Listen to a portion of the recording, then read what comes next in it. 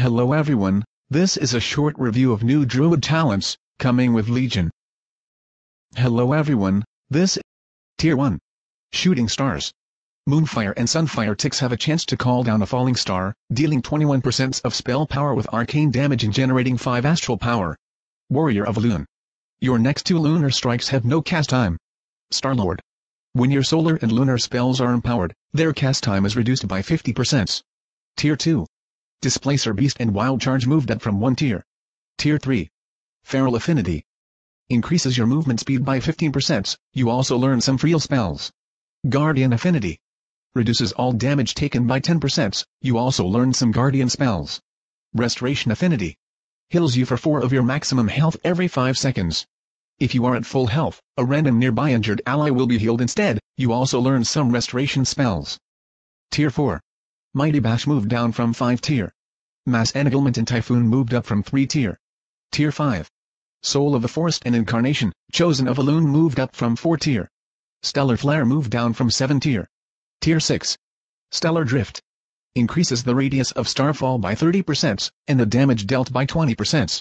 Additionally, while you are inside the starfall you can cast while moving. Full Moon. The damage dealt to the primary target of Lunar Strike is increased by 25%. Nature's Balance.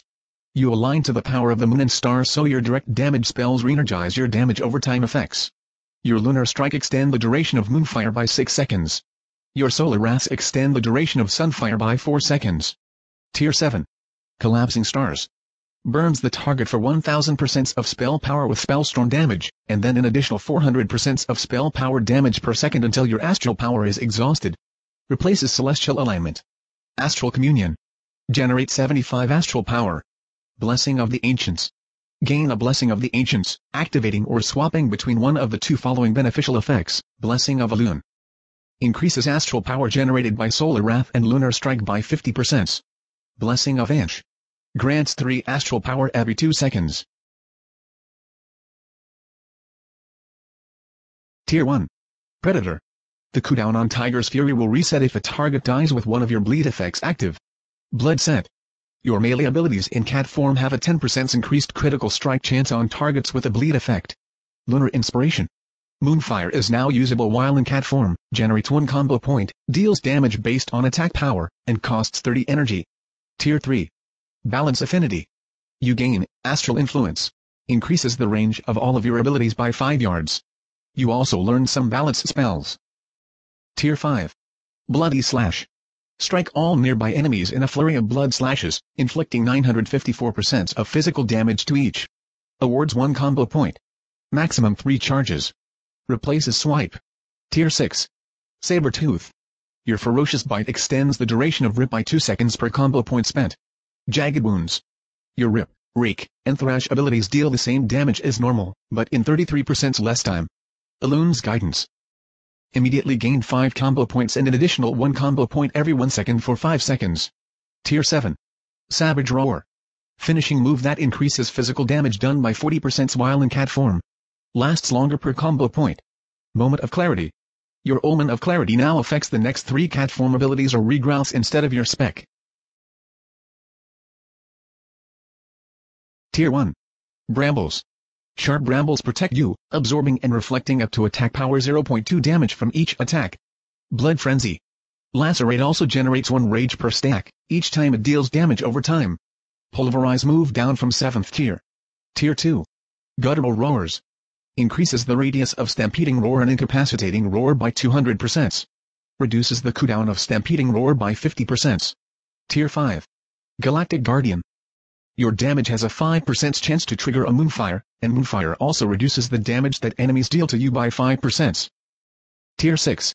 Earth Warden. Every 6 seconds, you gain a charge of Earth Warden, up to 3 charges. Earth Warden reduces the damage of the next auto attack you take by 30%. Survival of the Fittest. Reduces the cooldowns of Bark Skin and Survival Instincts by 50 parents. Guardian of Elune move down from 7th tier. Tier 7. Rend and Tear. Lacerate also increases your damage dealt to the target, and reduces your damage taken from the target by 2% per stack. Lunar Beam. Summons a beam of lunar light at your location for 8 seconds. Every 1 second, the beam will heal you and deal 100% of attack power with arcane damage to enemies. Tier 1. Verdant growth. Increases the critical strike chance of your regrowth by 40%. Cenarion ward moved down from second tier. Germination moved down from seventh tier. Tier 5. Cultivation. When rejuvenation heals a target below 50% of health, it applies cultivation to the target, healing them for 108.4% of spell power over 6 seconds. Tier 6. Prosperity.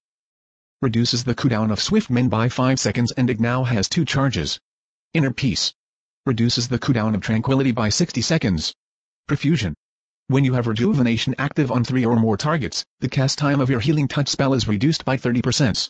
Tier 7. Stonebark reduces the cooldown of Iron Bark by 15 seconds, and it increases healing from your heal over time effects by 20%. Flourish. Extend the duration of all of your heal over time effects on friendly targets within 60 yards by 10 seconds. Thanks for watching, next videos coming soon. See you later. Thanks for watching, other videos coming soon.